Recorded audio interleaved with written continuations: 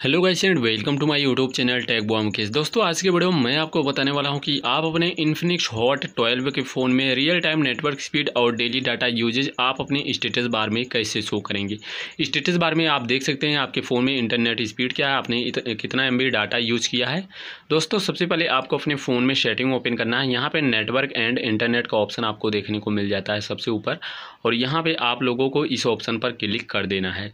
Click करने के बाद यहाँ पर आपको बहुत से ऑप्शन दिखाई देंगे तो यहाँ पे आप लोग देख सकते हैं। Status bar network speed display का ऑप्शन है, यहाँ पे देख सकते हैं। इसको आप लोग ऑन कर देंगे तो आपके फ़ोन में इंटरनेट स्पीड जो भी रहेगी, जो इंटरनेट स्पीड रहती है, जिस एरिया में जितना रहती है, यहाँ पर शो करता है ऊपर स्टेटस बार में आपको देखने को मिल जाता है।